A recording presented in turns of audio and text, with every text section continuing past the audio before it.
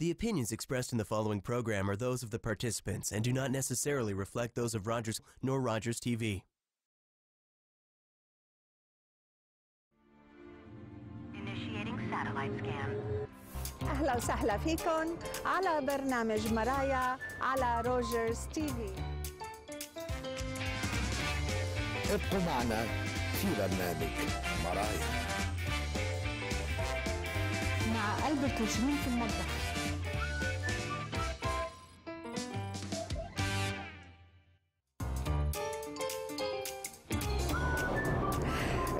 بيقولوا بالأمثال المصرية الشعبية مراية الحب عمياء. بس إحنا المرايا تبعتنا مفتحة على الآخر. وحتفتح معكم مواضيع كتيرة من فن وأدب وسياسة اللي بتناسب كل الاهتمامات وكل الأعمار. أهلا وسهلا فيكم على برنامج مرايا على روجرز TV.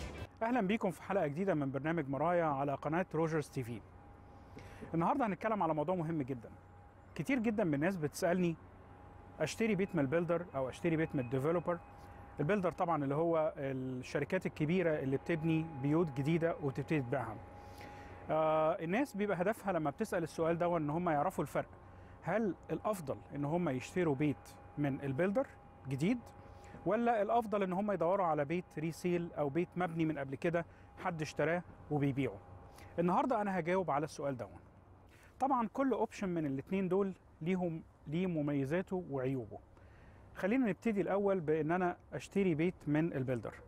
في حالة إن أنا أشتري البيت من ال builder طبعا أهم ميزة إن أنا باخد بيت جديد والبيت ببقى أول ساكن فيه. لكن يا ترى آه هي دي فقط الميزة اللي أنا باخدها ولا في أي مميزات تانية؟ في الواقع مفيش أي مميزات تانية ممكن تاخدها من إنك تشتري بيت من ال builder. لأن آه على سبيل المثال أنت مش هتشوف البيت اللي أنت بتشتريه. مش هتقدر تختار آه مواصفات معينة في البيت آه لأن أنت مش شايفه. أنت كل اللي أنت هتشوفه هتبقى plan موجودة على الورق ويمكن شوية صور ويمكن شوية نماذج لل materials اللي بيستخدمها ال builder في البنى لكن هو ده بس. آه أنت بمعنى آخر زي ما بنقول دايما أنت بتشتري بيت عمياني. لكن طبعا في الآخر هيبقى بيت جديد. دي تعتبر من المميزات خلينا نقول آه بتاعة إن أنا أشتري بيت من ال builder عيوب إن أنا أشتري البيت من ال builder هي كالآتي.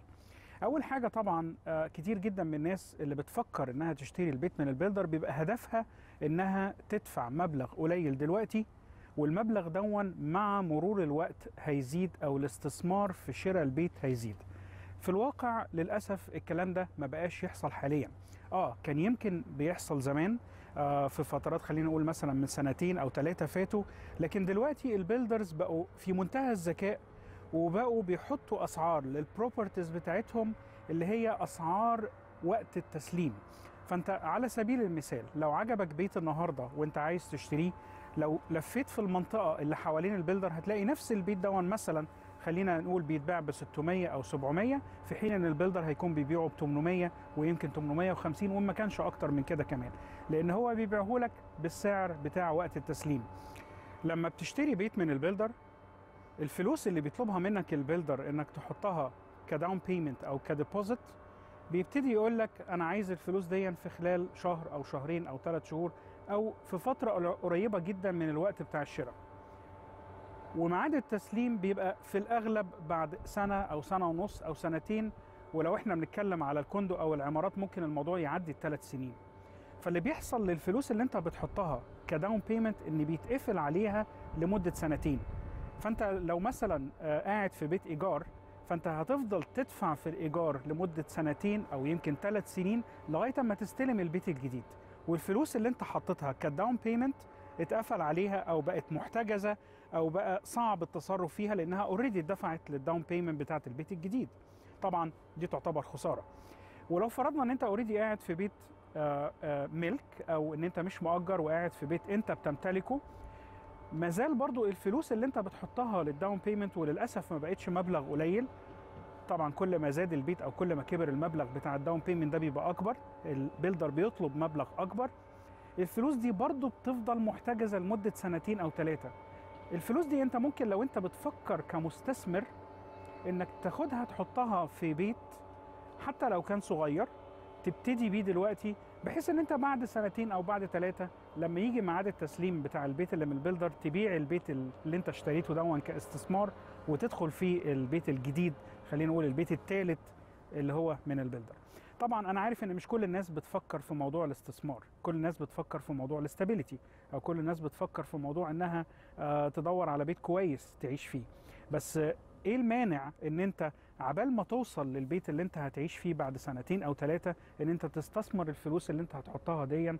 بدل ما تبقى محتجزة أو بدل ما تبقى مقفول عليها في ال builder آه، اللي هو في الآخر بي بيمثل البنك أو زيه زي البنك وإحنا كلنا عارفين كويس جدا ال interest بتاعت البنوك تعتبر interest ضعيفة جدا ما فيش منها أي فايدة فأنت ممكن تستغل المبلغ دون وتدخل بيه استثمار في بيت تاني.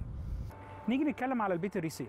البيت الريسيل طبعا أنت بتدخل تتفرج على البيت بكل تفاصيله. فأنت لو في أي حاجة مش عاجباك في البيت بتقدر تقول إن ده مش عاجبك.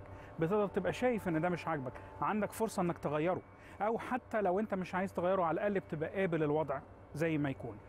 بالإضافة إلى إن طبعا السعر بتاع البيت ال resale بيبقى واضح وصريح لأن بالمقارنة بالبيوت اللي موجودة في المنطقة بيبقى هو هو نفس السعر. أتمنى إن آه، المعلومة البسيطة دي آه، تكون فادت ناس كتير آه، وأنا عارف إن في ناس كتير بتسأل الموضوع ده. طبعا أنا ما أقدرش إن أنا أعمم الكلام اللي أنا قلته على كل ال builders ولا أقدر أعمم الكلام اللي أنا قلته على كل البيوت ال resale. كل case وليها تفاصيلها وكل builder وله ظروفه وكل منطقة كمان وليها ظروفها. أنا برحب بأي حد عنده استفسار على مكان معين أو على builder معين أو على تفاصيل عملية شراء معينة إن هو يبقى على اتصال معايا سواء كان بالتليفون أو بالإيميل. أشكركم وكنتم معانا في حلقة جديدة من برنامج مرايا على قناة Rogers TV. كان معاكم رامي صليب. أهلا وسهلا فيكم. إحنا اليوم عدسة مرايا معاكم. عم ترصد لكم حدث تكريم الشاعر ذوقان عبد الصمد. هو شاعر لبناني وعم بكمل مسيرته الشعرية في كندا. فتوقعونا هلأ حنعمل مقابلة معاه وتسمعوا شوي من أشعاره والكلمات التكريم اللي ال- ال- الشعراء الآخرين كرموه فيها بحفل الليلة. فضلوا معنا. سألتك الروح سألتك الروح أين الحب موئله؟ أجابني القلب بين العشق والألم. سألتك الروح أين الحب موئله؟ أجابني القلب بين العشق والألم. سألتك الراح أين الجود ساحته؟ أجابني الدهر بين الكف والكرم. سألتك الخلد أين المجد مرقده؟ أجابني الأرز بين الفكر والقلم. سألتك الشعر أين الوحي مهبطه؟ أجابني الحرف بين الآه والنغم.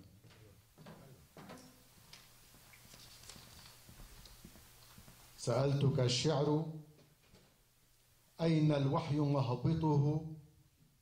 أجابني الحرف بين الآه والنغم وأجود الشعر أبيات إذا انسكبت خطوطها السحر بوح الورد للأكم وأطيب الورد أنفاس إذا انطلقت في معبد الحب ضوعا طيب الكلم وأعتق الحب يا ذوقان إن رشقت إن رشفت سطوره الحمر بين الكأس والحلم. مبروك وإن شاء الله بالإبداع المستمر. يا ألف أهلا. يا ألف أهلا سربوا الغاب. التركوا وراهن جرح. زوقان هطلعت صبح جاي وكأنه الرمح بهالأمسيات يوقع كتاب إن كان هون أو هونيك مش هم المكان.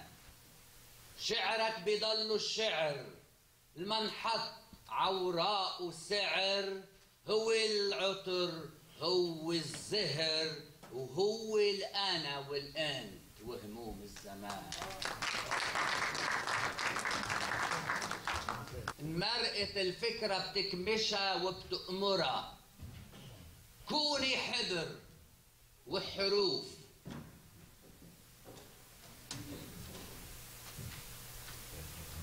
مرقة الفكرة بتكمشها وبتأمرها. كوني حذر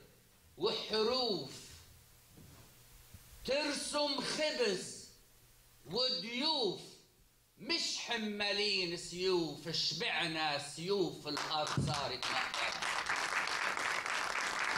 مثالي الماضي رسم لهم الجاي بالشرق عنا ولاد. بدن ثياب جداد بدن فرح وعياد. وبدن ثياب جداد مش مصبوغين بدم الحكاية.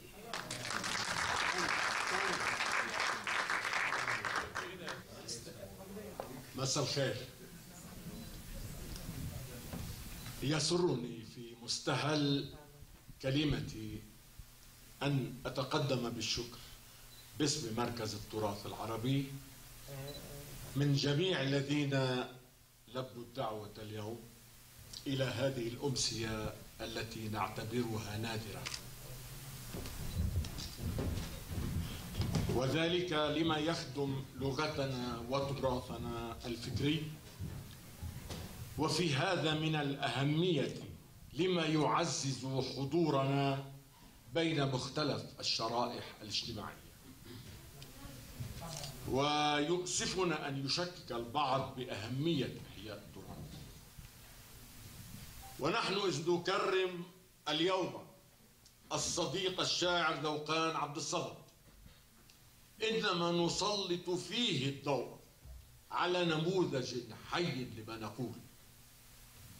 إذ عرف ذوقان كيف يحمل تراث الماضي إلى حاضر جميل لينتقل به إلى مستقبل يشع بالآمال والأحلام. باسم مركز التراث العربي يسرني أن أقدم للأستاذ ذوقان عبد الصمد درع الوفاء والتقدير.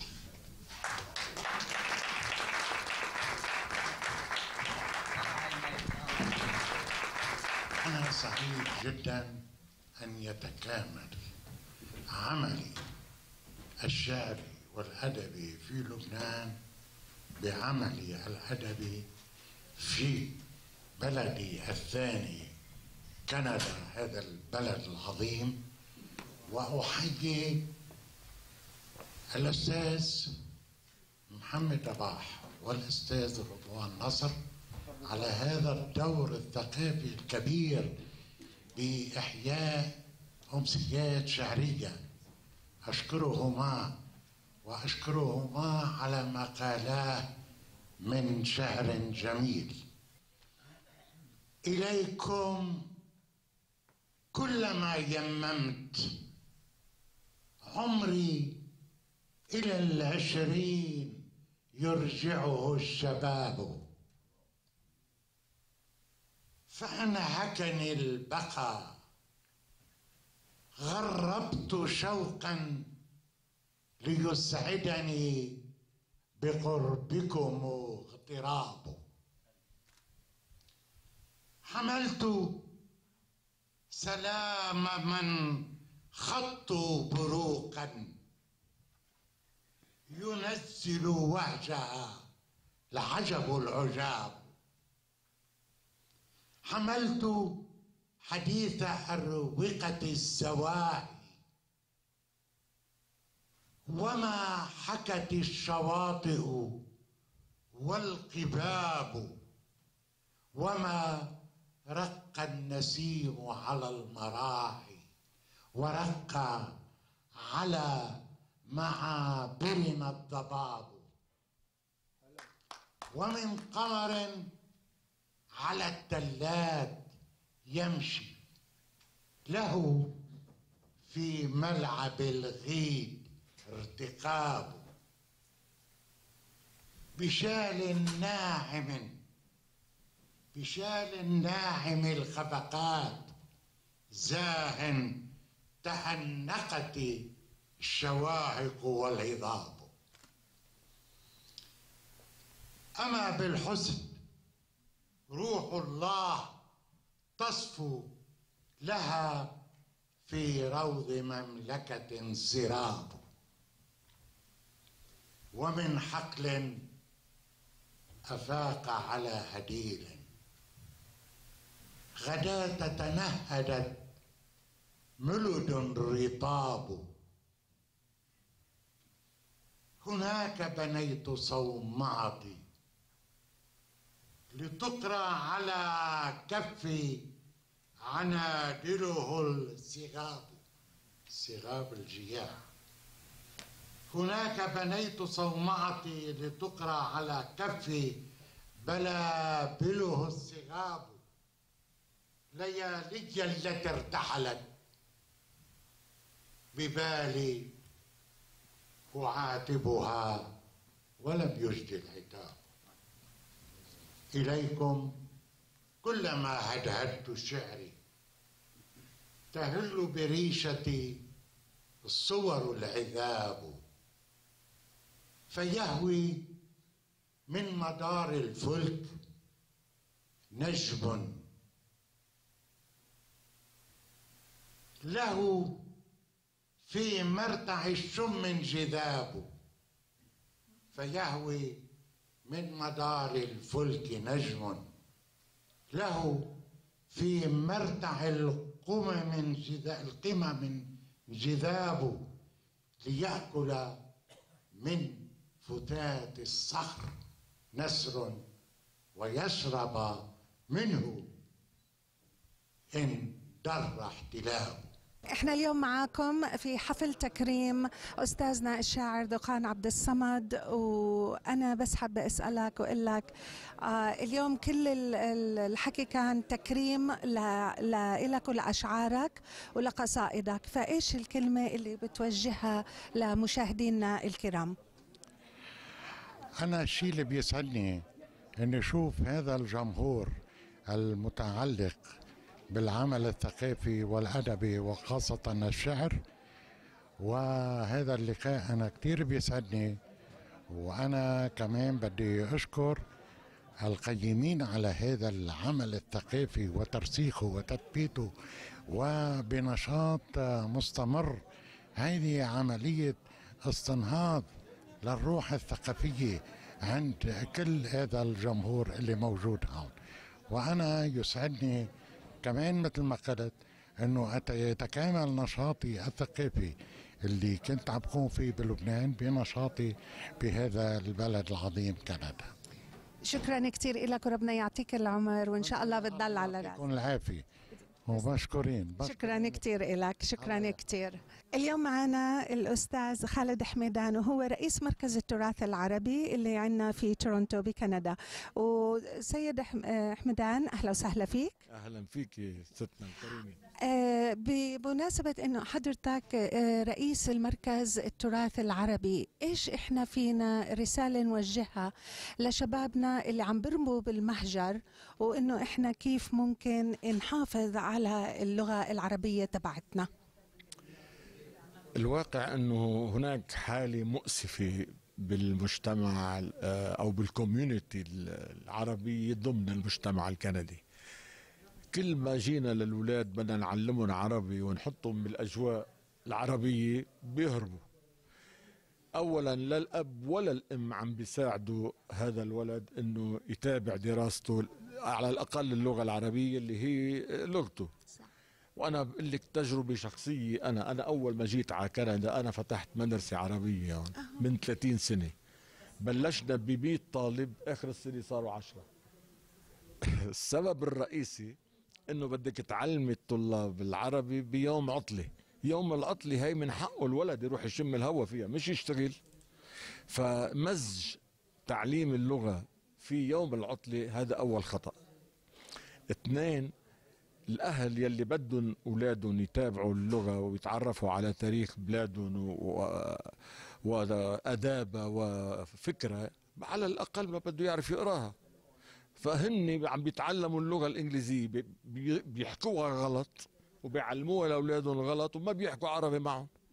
فالمشكلة تكمن هنا في في التربية البيتية يلي بدها توعية من الأساس يعني. مش إنه أعطينا نظرية وخلي يشوفوها الناس على التلفزيون لا.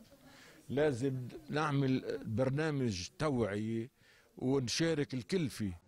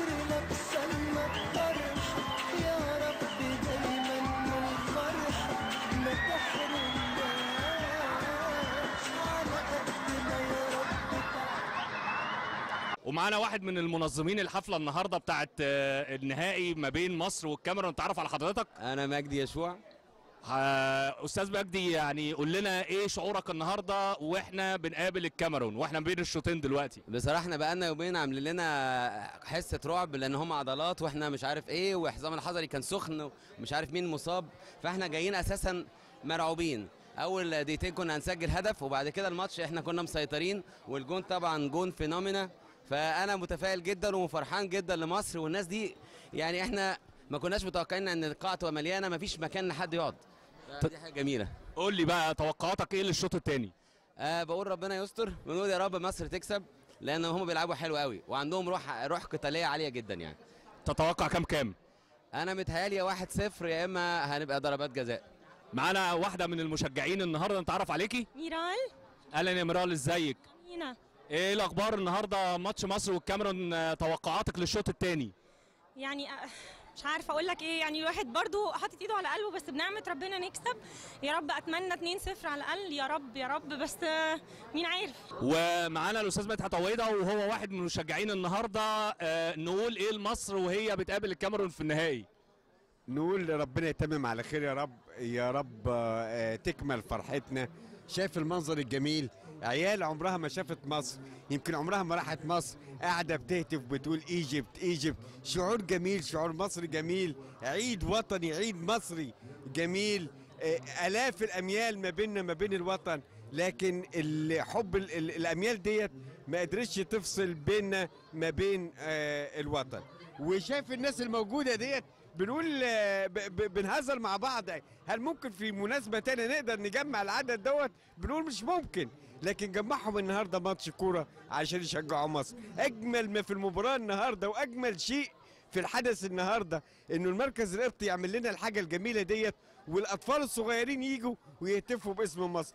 أنا مبسوط جدا إنه إنه بنستغل المناسبات اللي زي ديت علشان نزرع الانتماء في قلوب الأطفال الصغيرين وفي وفي قلوب الأجيال اللي بتتولد بره مصر. يا رب الفرحة تكمل يا رب مصر تكسب يا رب كلنا نفرح. الشعب ده شعب طيب ويستحق الفرحة والكرة بتفرحنا وإن شاء الله هنفرح بإذن الله. ميرسي لحضرتك.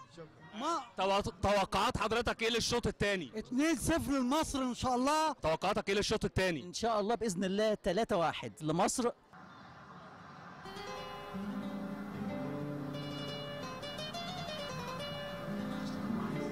إحنا دلوقتي في الدقيقة 63 يعني في الشوط الثاني وطبعا بعد ما الكاميرون أحرزت هدف التعادل عايزين نشوف بقى الصمت المخيم على كل الحضور اللي قاعدين بعد ما كانوا بيشجعوا مصر بكل قلبهم.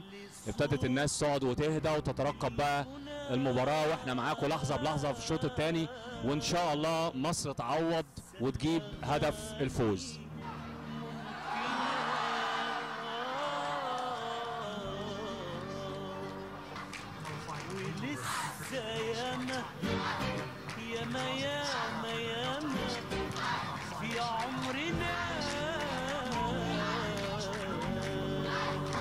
علي صوتك علي صوتك بالغنى لسه الاغاني ممكنه ممكنه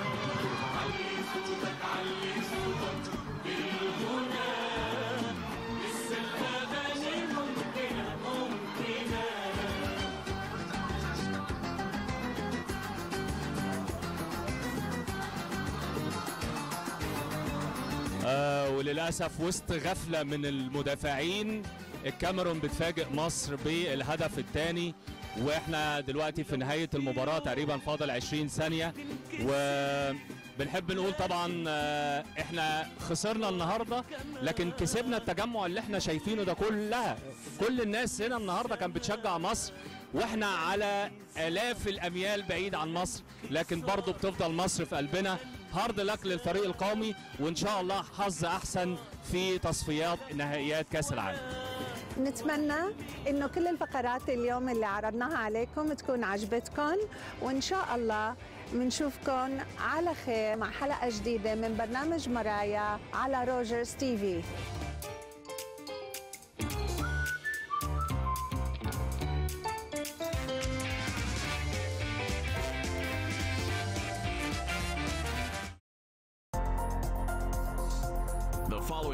Is brought to you by Rogers Anyplace TV. Enjoy exclusive content for free. Visit RogersAnyplaceTV.com.